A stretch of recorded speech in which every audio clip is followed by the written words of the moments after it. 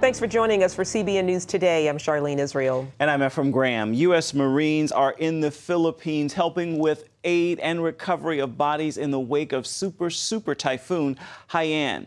Even three days after the massive storm struck, the devastation is still incomprehensible. At least 2 million people are desperate for help, and thousands of people are feared dead. It's being called one of the most powerful storms ever recorded. Typhoon Haiyan ravaged the Philippines, destroying entire cities, towns, and villages, crippling roads and destroying tens of thousands of homes. We don't have food, we don't have everything, we don't have houses. As many as 10,000 people are feared dead.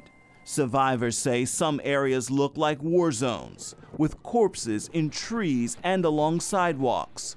CBN disaster relief teams are on the ground in some of the hardest hit areas, distributing relief goods to victims. We have lots of water, which is really badly needed in those areas. We have canned goods, sardines, we have rice, we have tents, and also mats and blankets. We also have stuffed toys because um, hundreds of thousands of children were traumatized during the typhoon. A team of 90 U.S. Marines are helping in the search and rescue efforts. CBN also coordinated with the military, giving them relief goods for areas that have been cut off from the rest of the country. People have not eaten for days, so we're sending now blankets, mats, medicines, food, rice, all the, the essential uh, things that they need to survive. And uh, we are uh, assembling a group of doctors here and also in Cebu to join our team in the disaster areas.